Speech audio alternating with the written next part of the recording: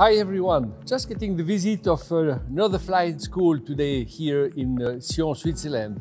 Alp Aviation from Bern, you know, our main cities here in our, in our country. They are changing uh, the way they will teach students on how to, to fly.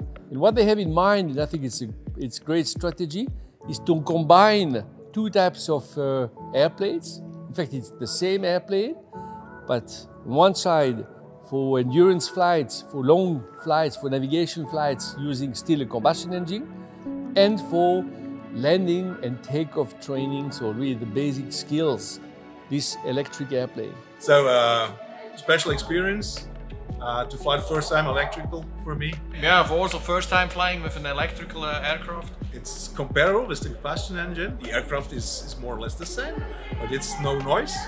Special experience is that uh, we have this piston engine uh, and the same model in the electrical and uh, it's a good uh, uh, a good situation to compare this aircraft so performance it's good, could be nearly the same also the flying characteristic the electric is a, little bit heavier so more stable in the air. It's no fuel, so yeah, it's a nice experience, and it's for our setup as the as a basic trainer for circuit training or CTR training. It's it's really the option to have in the future. It's going to be an interesting combination uh, for us as a flight school to to, to go with both uh, aircrafts. You know, that's uh, the thing at the future. I think that's the way as the first steps for flight schools, for aero clubs, and hopefully also in a few years we'll be able to give them a solution where they can do everything electric. But let's go step by step, and that's the first one.